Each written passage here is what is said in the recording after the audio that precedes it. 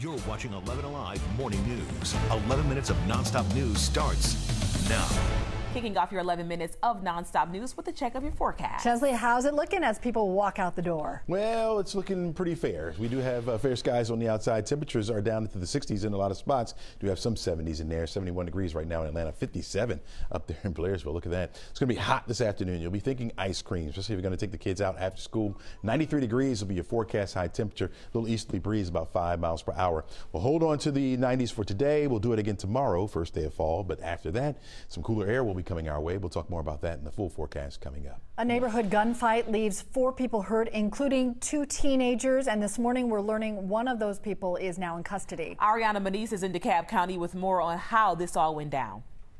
Hours after the shooting, police arrested a suspect who's facing charges for firing off multiple shots in the middle of what started off as an argument.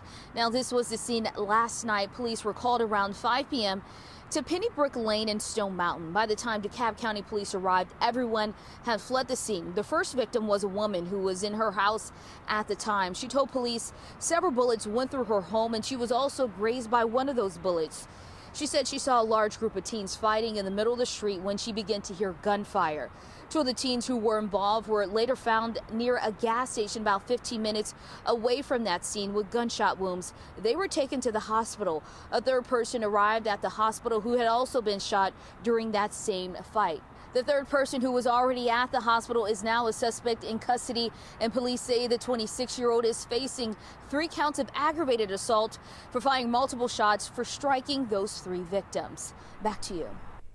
Your 11 minutes of nonstop news continues with the latest on the investigation into a 13 year old boy's death.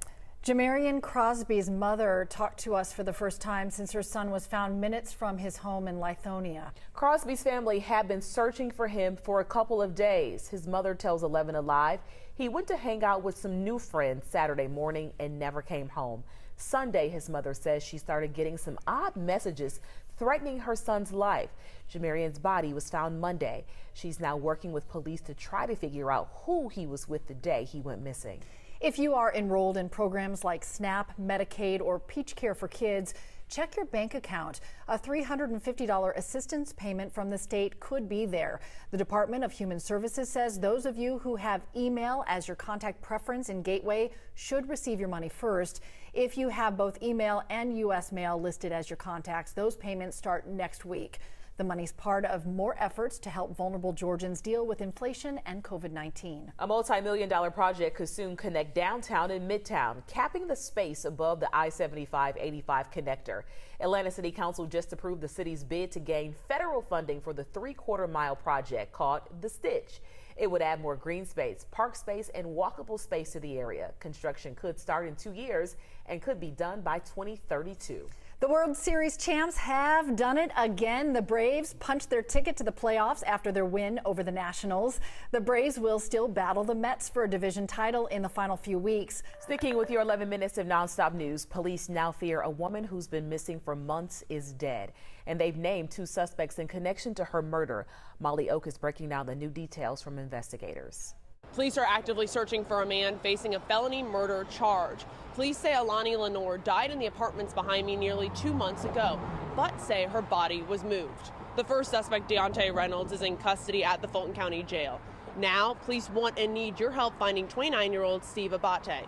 Police believe he's in the metro area and hope finding him will help them get the information they need to bring Lenore home. So far, police say the other suspect, Reynolds, has not been helpful with the investigation. Both suspects face charges of felony murder and felony concealing a death. Police say Lenore had short interactions with both men before she died.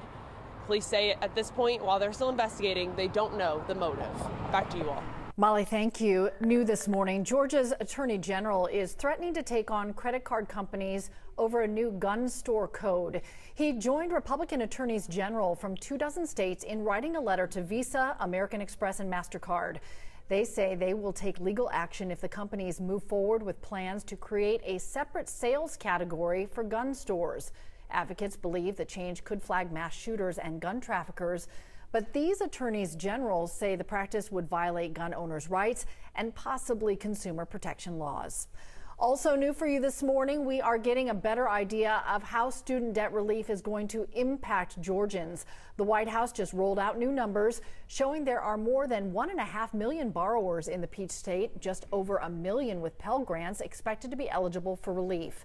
Last month, President Biden released his plan to provide up to $20,000 in debt relief to Pell Grant recipients, $10,000 to other borrowers under the plan. Let me just remind you that it's going to be a hot afternoon. Let me say it again. It's going to be a hot afternoon. I'll say we didn't warn you, right? Temperature's right at 86 degrees under mostly sunny skies by noon. In fact, we're looking at it being hot. Again, by 3 o'clock, we'll hit 90 on our way to about 93 for a high temperature. By 6 o'clock, we'll drop back down to about 89 degrees. Still got the sunny skies out there. A few cumulus clouds around, but no rain coming out of those clouds at all. A little easterly breeze about 5 miles per hour. We are so happy we get to share this update with you. We told you about how Austin was celebrating his ninth birthday and how badly his family wanted to show him he's loved. Austin has autism. He's gone through a lot of bullying. Last year, nobody showed up for his birthday party. Well, this year, a very special day thanks to Magnolia Place in Roswell. Look at all these gifts they brought him. There were signs in the yard, there were tents up, dozens of birthday cards, and a huge turnout. Look at that pile of gifts. We're sure Austin felt all the love for the big number nine. All right, looking forward to next year. Double digits going to be That's even big. better, Austin. It's big. Happy birthday. Today's show's next. Have a great day. We'll see you back here tomorrow morning.